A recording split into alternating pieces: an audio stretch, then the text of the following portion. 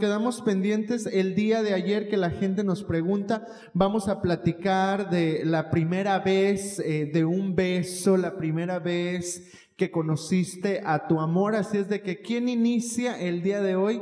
¿Quién quiere contar su experiencia y cómo le ha ido en la feria? Así es de que, ¿quién empieza? Va, a, haber, va a haber diferentes primeras veces, ¿no? Va a haber diferentes primeras veces para que de esa manera eh, podamos ahora sí que, conocer diferentes opciones. Eh, no necesariamente la primera vez que se enamora, no necesariamente el primer beso, sino que la primera vez de muchas veces. Y eh, para poder llegar a esa primera vez, a veces también uno tiene que tomar una decisión muy eh, interesante. ¿Por qué? Porque después de la primera vez, pues ya, ya, no, ya, ya no es lo mismo. Entonces, antes de, hacer la elección de esa primera vez, hay que asegurar de que estás tomando la decisión adecuada. Estoy rodeando mucho y cantinflando demasiado. Parece trabalenguas. Pero a lo que me refiero es de que después de esa primera vez ya no se vuelve a repetir. Entonces la experiencia tiene que ser grata y saber elegir el momento, la persona, la situación adecuada para que se pueda disfrutar, porque esa primera vez también puede causar un trauma, Nani. sí. Oh, ya. Por ejemplo, la primera vez que me metí al freeway. Ahí está. Por ejemplo. Um, Ah, allá en, en, Long Beach, en el, en el centro, hay una, una entrada donde nada más cuando entras se hace freeway. Y entonces yo ya sabía más o menos manejar en la calle, bueno, no mucho, pero más o menos. Y entonces ya tenía un amigo que me andaba enseñando a manejar y me dice, vente por acá, métete por acá y me meto y, y, era hora de tráfico y entonces voy metiendo, voy a empezar que, acelérale, acelérale, y yo empecé a acelerarle y mi, obviamente tenía un carro viejito y no podía, dije, ay, es que no acelera y que voy viendo que me andaban pitando y dije, oh my god, ¿dónde estoy? Me metiste al freeway, oh my god, me andaba paniqueando y entonces, yo no sé cómo rayos le hice, ni vi los espejos, me, di, me, me pasé para lado y me salí. Pero mira, a, final de cuentas, el, aprender a manejar realmente, ya cuando viviste esa experiencia, te diste cuenta de que realmente era lo mismo. O sea, andar dentro del freeway o estar en la calle. A final de cuentas, siempre, siempre y cuando tú sigas eh, en tu carril, y haciendo lo adecuado, pues no va a pasar nada. No te diste cuenta que estabas en el frío hasta que ya estabas dentro que de él. Ya, hasta que uno ya ve que está así, es, es mentalmente, o si uno se pone nervioso, y me pongo bien nerviosa y digo, ay no, pero después de ahí, honestamente, eso me ayudó a animarme más a meterme al freeway. Claro, y, y, ya no sentiste ese miedo en, la segunda y te ayudó precisamente a que pudieras aprender a manejar mucho más rápido también. Sí, ya mujer de arranque. La mujer, mujer de arranque. Oye, como mira, yo sé que también una primera vez también es muy dramática y traumante cuando llevan a un niño o una niña por primera vez a la escuela. Oh my God. Que, que, es traumante, o sea, eh, no nada más llora el niño sino que hasta, los, hasta los papás lloran también. Entonces, eh, es momento muy, muy especial, una primera vez que nunca se olvida. ¿Por qué? Porque llama tanta, tanta la atención. Así como esa primera vez del freeway, así como esa primera vez que uno sabe que, que pasan en, en, diferentes situaciones, hay una primera vez para todo. Son cosas inolvidables, son cosas que nunca se te olvidan. igual puede ser por, por la buena experiencia o por la mala, experiencia, también. Entonces, en la vida, yo creo que, que, nunca vamos a dejar de hacer cosas por primera vez y es importante aprender a disfrutarlas también. Me imagino que en, en esas primeras veces en el transcurso de, la vida de ustedes han sido muchas de ellas gratas y muchas veces no tan gratas. Yo preguntaría de, de las primeras veces en sus vidas, ¿cuál ha sido la más no grata. ¿Les llega algún recuerdo rápido para poder compartir ese tipo de experiencia? Lo que, lo que me llega a la mente es alguien que me rompió el corazón. Eso fue uno de los momentos más difíciles, difíciles, perdón, y más que cosas que, que no se te olvidan nunca. La primera vez que te rompieron el corazón. El corazón. Eh, ¿Hace mucho tiempo de eso o, regularmente las personas eh, se enamoran desde pequeñitos, desde niños, ¿no? Sí. Eh, pregunto yo, ¿hace mucho tiempo de eso? Ah, casi hace dos años.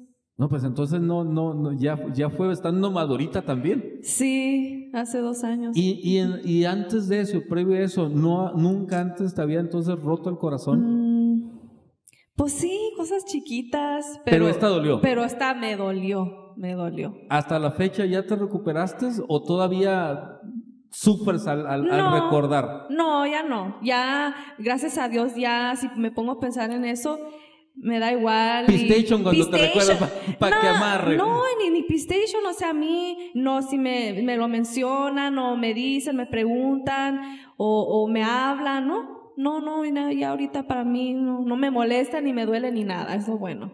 Es, es lo bueno. Chuyito, Sí. ¿cuál ha sido tu primera vez? Que, que, que una, una primera vez que te haya traumado en la vida, que hasta ahorita todavía eh, sientas los estragos de, de, de, de ese trauma que pasó.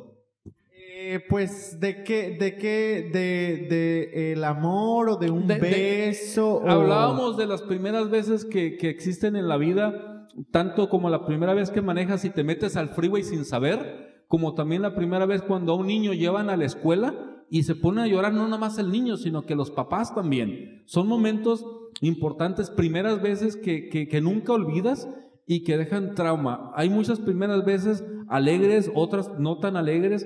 En este caso, ¿cuál sería la nota no tan alegre que a lo mejor todavía recuerdas? Ah, pues fíjate que, ¿qué te puedo decir? Ah, trato de no recordar cosas del pasado porque a mí no me tocó vivir ah, lo más bonito. Así es de que eh, trato de no recordar y este, ¿qué te puedo decir? Eh, siempre he dicho que el amor sí existe, eh, solamente que te fijas en personas equivocadamente. Eh, pero realmente no recuerdo, eh, no recuerdo los primeros besos o el primer amor que tú digas que lo recuerdo exactamente. Eh, no lo recuerdo. Recuerdo ya cuando estaba un poquito más grande, ¿verdad? Que sí, este, pues sí, como siempre uno se enamora, pero no siempre eres correspondido. Así es de que puedo decir que en la vida no todo se puede tener, así es de que una de dos. O te va a tocar la fortuna o te va a tocar el amor. En este caso prefiero la fortuna porque pues de amor ya no se vive en estos tiempos. Y pues si llegara el amor, que llegue junto con la fortuna, diría yo. Yo sí me acuerdo de mi primer beso. Y era una niña. Era, de hecho, Era una niña, Era- no con una niña. no, era una niña chiquita. Creo que tenía, ay, honestamente, yo creo que unos seis años. Era donde vivía y, y me- una señora me cuidaba y tenía un niño. Y la misma edad de, de- de que yo. So, me acuerdo que la señora a veces decía, pues vayan a jugar y allá. Y entonces yo y él jugábamos. Y me acuerdo que una vez estábamos jugando a ser papá, o sea, éramos papá y mamá con un, con un bebé de mentira. Y entonces él me dice, oye, a- a- hay que hacerle como lo hace mi papá y mi mamá. Y yo dije, ¿qué? Y que me planto un besote mojado. Y yo, ¡ah! Eso sí me acuerdo. Oye, a ver, pero en este caso, eh, el niño también tenía alrededor de tu misma edad. Sí, eh, eh, teníamos como seis años los dos. Y me acuerdo de eso. Cuando- lo que me acuerdo es que me lo dejó bien babiado. Como que el niño era muy promiscuo, sabía lo que estaba no. haciendo. A los seis años, De- Seis imagínate. De, de la misma forma como, como fue tu reacción, ¿cuál fue la reacción que viste tú en él? Nada, o sea, yo le hice, "Ay", entonces él nomás se me quedó viendo y desde ahí yo me acuerdo que nunca le dije a nadie, ni a mi mamá, y ya después de ahí pues pas- fue como si nunca hubiera pasado. Jugaba con él, pero como si no hubiera pasado. Pero fíjate cómo, cómo lo recuerdas todavía, o sea. ¿por qué? Porque pues es una- un, un momento importante eh, o, o- o- o traumante, qué sé yo, pues en la vida también. Me- ¿Qué, qué, qué primeras veces quisieras eh, eh, de que habláramos, Chuyito? O sea, más primeras veces de, de, de, la- de forma atrevida o más primeras veces de anécdotas de, de un, una vida normal y común como hijo de vecina. Sí, pues definitivamente para que la gente conozca un poquito, ¿verdad? Simplemente si recuerdan eh, a qué edad fue el primer beso, por así decirlo. ¿Se recuerdan exactamente el primero? En este caso, Nani a los seis. ¿Y, tú, Luis, a, los cuántos años aproximadamente diste el primer beso? Mira, no, no te voy a, mentir, Chuito, y, no voy a, querer salir, salirme por la tangente eh, no es que no me acuerde, sino que mi, mi ideología era un poquito diferente. ¿A qué me refiero con diferente? A de que yo recuerdo, hasta donde tengo uso de recuerdo de memoria, me acuerdo que, que yo decía, ¿sabes qué? Voy a esperar y voy a ser hombre de una sola mujer. Eso lo dije desde, desde, desde pequeño y hubo ocasiones en las cuales varias ah, ah, muchachas me pedían que si, que si quería yo ser su novio y a, y a muchas les, ah, dije que, les, dije que, no, les dije que no. O sea, ¿por qué? Porque en, en mi idea eh, yo quería esperar hasta, hasta que supuestamente llegara la, la, la mujer ideal con la cual yo iba a estar eh, toda la vida, ¿no? Eh, yo creo que sí me perdí de muchas cosas.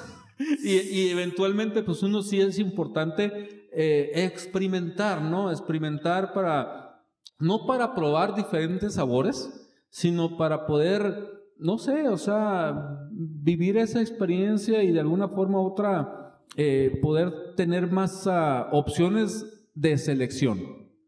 Claro que sí, o sea que tuviste la experiencia de que te pidieran ser tu novio y, ya, y les dije que no. Que le dijiste que no y ya ¿También te sucedió cuando estabas más grande o ahí sí ya te tocaba a ti decir, ¿quieres ser mi novia? No, es que mira, em, yo no fui muy noviero realmente, o sea, y, precisamente por, por apegarme a esa ideología.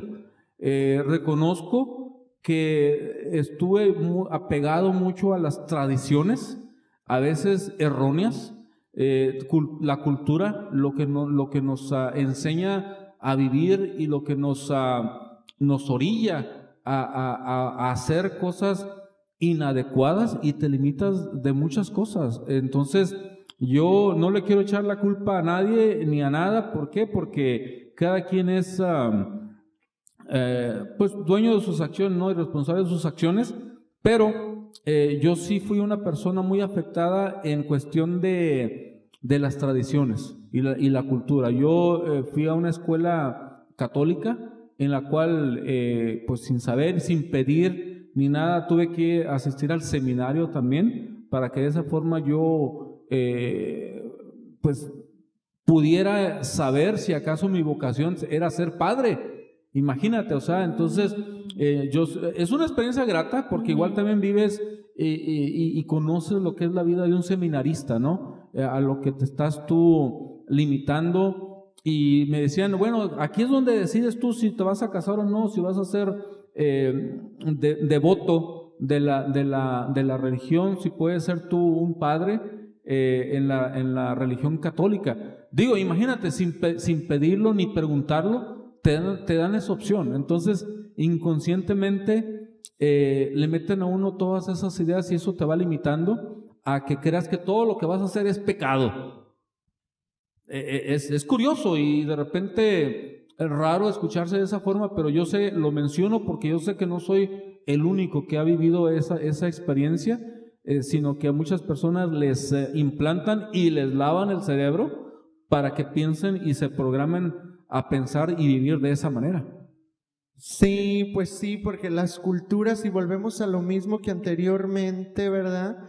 Este, pues eh, la familia, las religiones hablaban de diferente manera y tenían diferente ideología.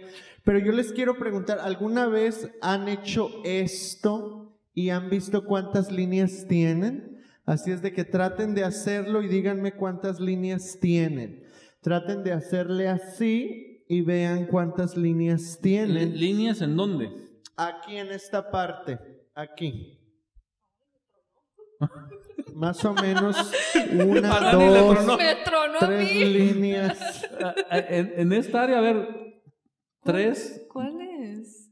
Tres. ¿En la muñeca? Ah, Ajá, en la muñeca. Entonces Luis tiene tres, dice, se relaciona. que- marcadas tres, tres marcadas. marcadas. Se relaciona eh, que estas tres líneas marcan la fama y el poder en la vida. La tercera línea es la más fuerte, que significa que probablemente serás influyente de poder y que tienes un gran, este, tienes una gran meta y te gustaría ser estrella famosa o una figura política importante y también significa que eres el líder en todo. Así es de que le atinó o no le atinó en nuestra amiga que eh, nos mandó esta información. ¿Cuántas tienes tú, Nanis? Tres. También tres, entonces sería el mismo significado. Este, eh, puede ser que tengas una, puede ser que tengas dos, o puede ser eh, que tengas tres. Y también dice que presionando y la bolita que te salga relaciona el hijo, la derecha, a la izquierda es la hija. Así es de que, imagínate a Luis cuántos le van a salir. ¿En dónde? ¿Cómo? A cómo- mí ni cómo me es? sale nada. Es Pues es que no, no- presionar. no, es lo que pasa es que no tienes hijos todavía, Ana, ni por eso, ¿no?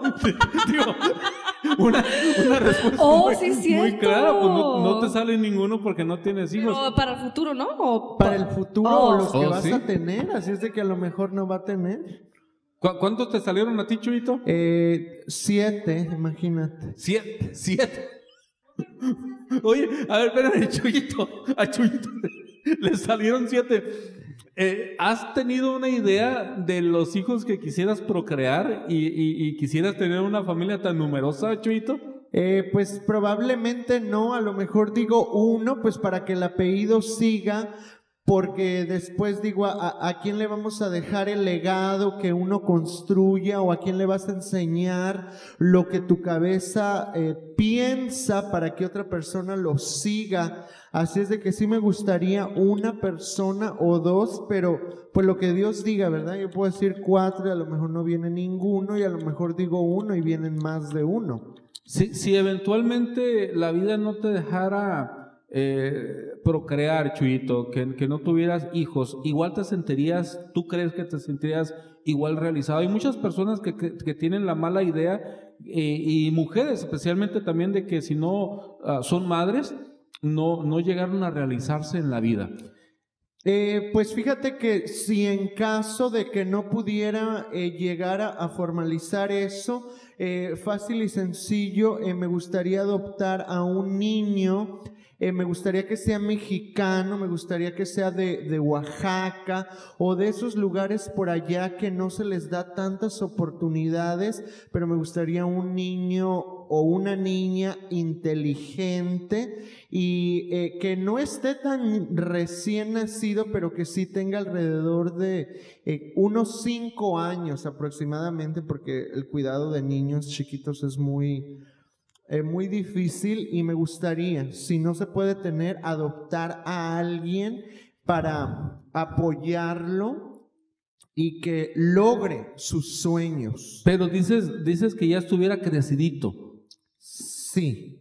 A ver, a- a- al- al- al- hay muchas diferencias en, en- en los hijos cuando son pequeñitos, cuando van creciendo y ya cuando son adultos también, ¿no? Eh, yo pienso que son etapas muy distintas, diferentes, en las cuales sí sería grato el poder disfrutar de cada una de, ellas también. Ahora, eh, hay algo curioso que, que se menciona de las, de las niñas que desde pequeñitas les dan una responsabilidad enorme. ¿Por qué? Porque muchos de los regalos que les dan desde pequeñas, y le pregunto a Nani, es de que les dan una muñeca. Y esa muñeca, un mono, un monito que representativo de un bebé. Entonces ahí tienes a la niña de dos, tres años cargando al bebé, como que si fuera un niño, ya Sí, preocupado. sí o sea, me entonces, eh, eh, ¿te pasó también a ti? Sí, a mí me regalaron, de hecho en el um, Día del Niño creo que fue, me regalaron un, creo que se llamaban Baby Born. Era un niño que él sí comía y se hacía del baño. So, me acuerdo que, me acuerdo que, que mi mamá de hecho me iba, iba a la tienda a comprarme pañales de verdad para ponerle al mono y había una, la vecina pues tenía bebés y yo creo que ya dejaron de comer lo que comían y me regalaban, me regalaban la fórmula para yo darle al bebé.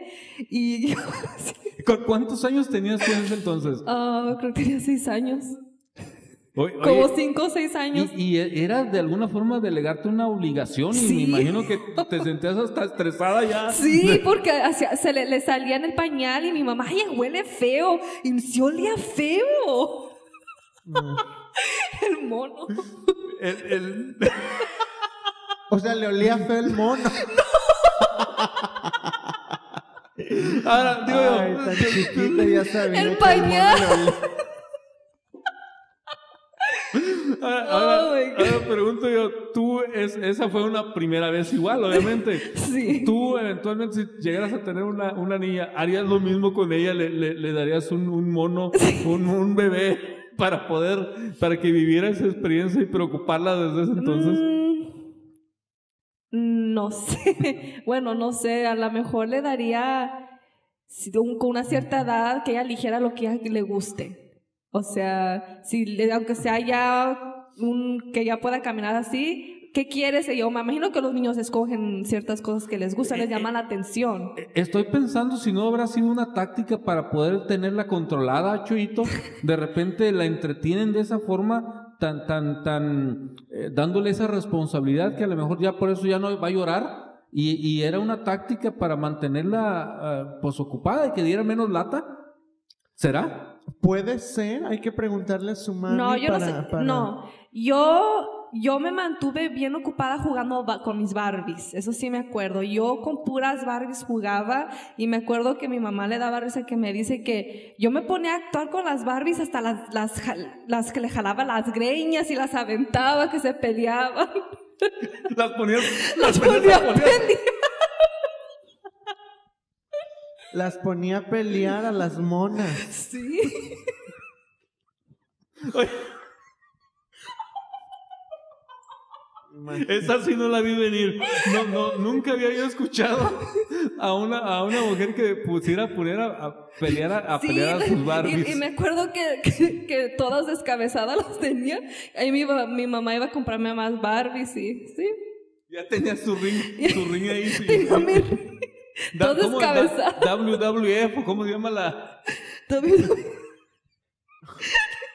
Chuyito, ¿qué, qué recuerdas tú de pequeño cuando jugabas con, con, con tus juguetes? ¿Algo, algo curioso también? Eh, pues yo recuerdo que cuando, que, que pues siempre jugaba también con mis primos y con mis primas y siempre, eh, pues siempre jugábamos, como tú sabes, los juegos de allá de México, pero sí, también como dice Nani, eh, eh, pues yo crecí con, con mi prima que es de mi misma edad. Entonces luego eh, sus hermanos de ella estaban más chiquitos y mi, entonces eh, pues jugábamos ahí, ella también le gustaba mucho los nenucos, así es de que encargaba dos, le traían dos nenucos, uno para uno, un bebé, un niño y una niña, así es de que ella se llevaba el nenuco de la niña y a mí me daba el niño. Entonces yo me acuerdo que pues nos poníamos a jugar y desde chiquito decía que, que a mí no me gustaba jugar con los carros, así que canicas y todo eso,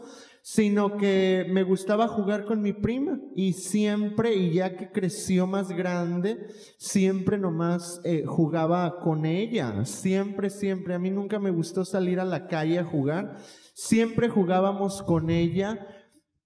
Me gustaba mucho ser el maestro y teníamos una regla bien grandota, así que cuando no me obedecían, Oh my God. les Qué daba agresivo. a todos y por eso estoy visco.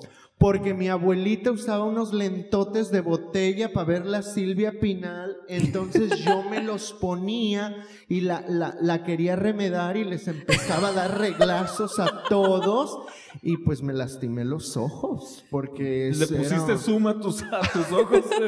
Sí, entonces ellos siempre me dicen que se acuerdan de eso cuando les daba reglazos con los lentotes de mi abuela. Así que imagínate.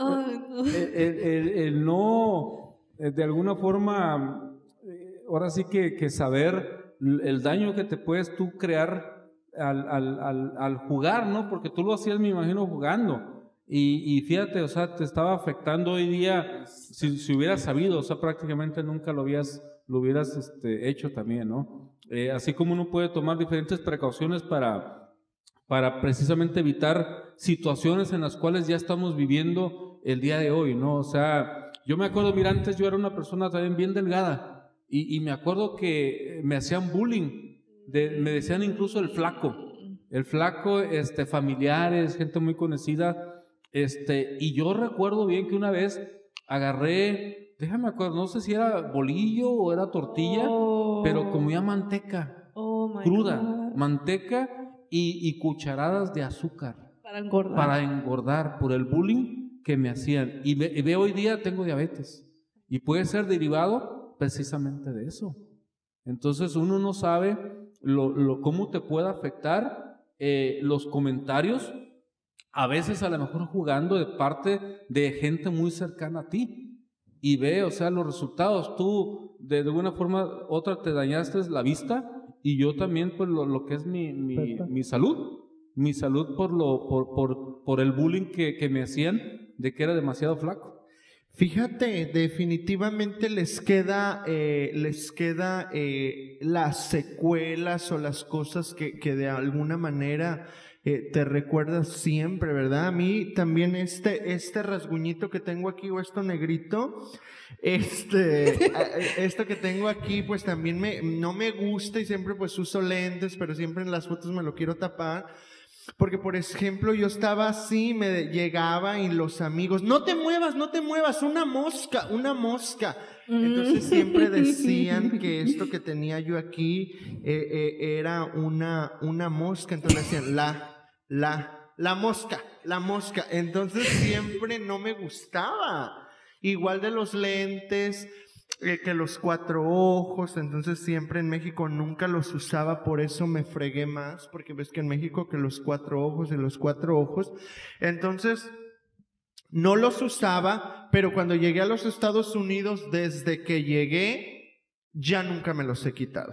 Sino simplemente aquí fue bien diferente, todo era bien normal. Y en México pues no usábamos esto porque decían que los frenos y que no sé qué y bla, bla, bla, bla.